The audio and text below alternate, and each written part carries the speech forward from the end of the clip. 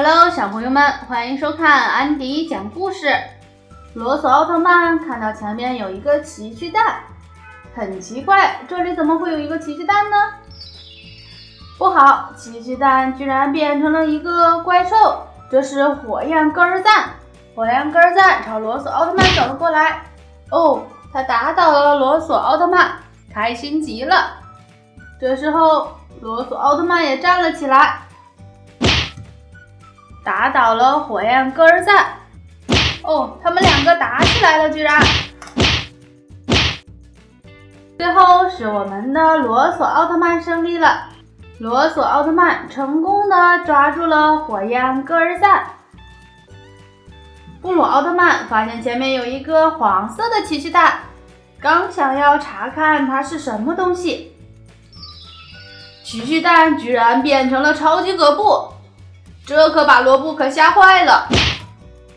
罗布一下就打倒了超级葛布，超级葛布又站了起来，他头上呢有一个尖尖的角，可是力气，一下就打倒了布鲁奥特曼，超级葛布开心极了。布鲁奥特曼给超级葛布来了一个飞踢，布鲁奥特曼踢跑了超级葛布。杰德奥特曼看到前面有一个红色的奇趣蛋，哦，这是什么东西啊？红色的奇趣蛋居然变成了甲格尔贡，哇，它好大呀，都比捷德奥特曼大了。他一拳就打倒了捷德奥特曼，居然还踩了捷德奥特曼。贾格尔贡因为打倒了捷德奥特曼，开心极了。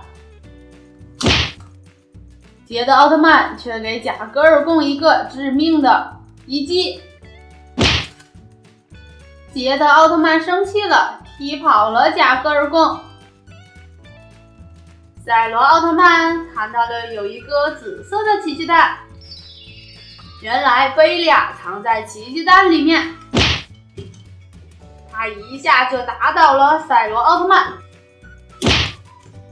赛罗一击打倒了贝利亚，贝利亚很生气，居然变成了超级贝利亚，贝利亚发射艾美利姆光波打倒了赛罗奥特曼。赛罗感觉情况不妙，立刻召唤了他的伙伴。看样子他们要使用最强一击。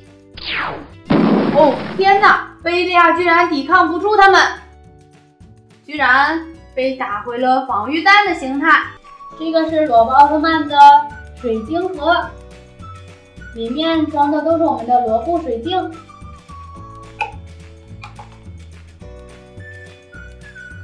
而这一个呢是罗布奥特曼的烈火形态。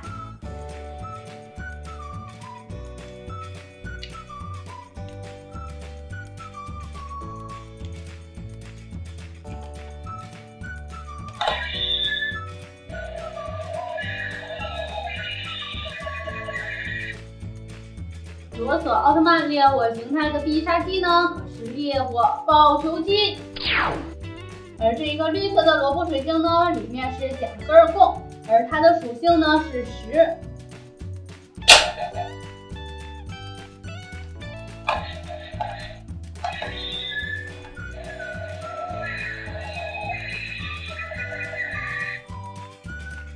甲根贡有长长的尾巴，而且头上呢有两个犄角，而这里。像嘴巴一样，里面可是他的眼睛。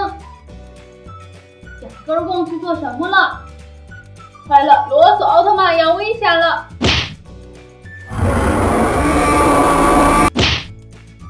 罗索奥特曼一个漂亮的回踢，打倒了贾格尔贡。贾格尔贡要召唤同伴，这是贝利亚的水晶。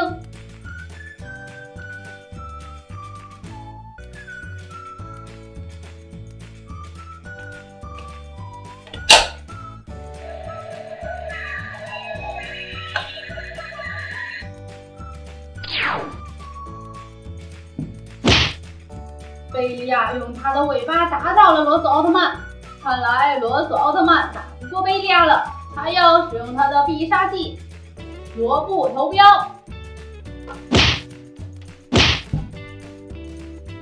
最终，罗索奥特曼打败了贝利亚。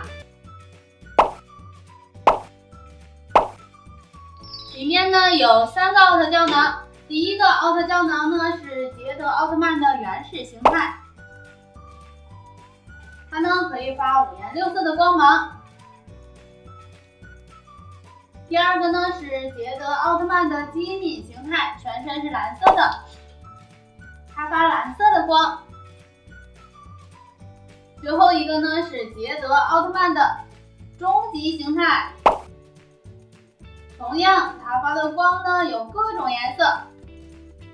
这个呢是捷德奥特曼的升华器，佩戴它的腰带，我们可以把奥特胶囊放到上面。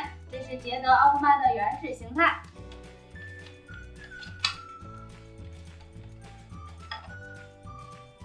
我们来召唤捷德奥特曼。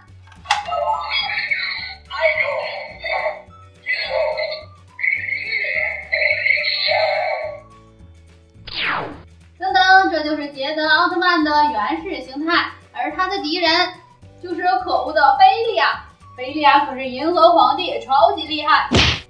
他轻轻一击就可以打倒了捷德奥特曼。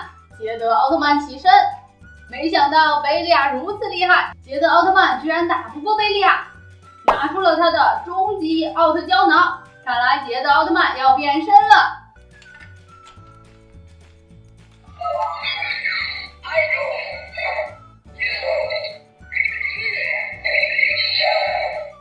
终极捷德看起来超级帅的。在他头上的头标呢，还可以发出光线，十字冲击波。哇，贝利亚被打的手无缚鸡之力，他看起来很生气。哇，这难道是终极贝利亚？哇，好厉害呀！天哪，轻轻一击，杰德就被打倒了。看来杰德要召唤他的同伴，出来吧，赛罗奥特曼。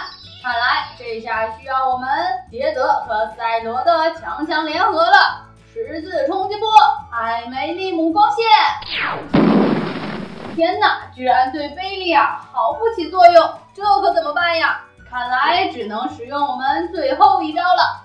赛罗、杰德合二为一。哇，天哪，居然变成了这么大的奥特曼！这是杰德奥特曼的终极形态。